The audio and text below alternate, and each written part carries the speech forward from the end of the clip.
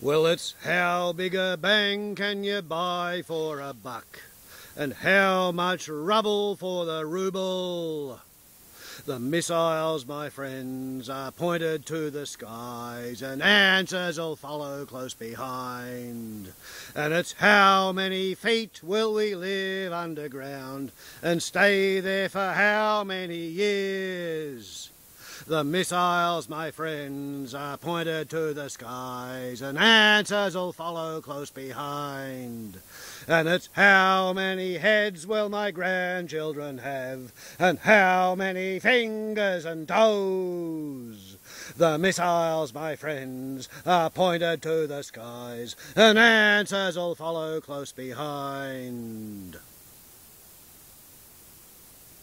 Flashback, Blast from the Past. I wrote that in 1978. Warbles on a lot to YouTube. Ciao!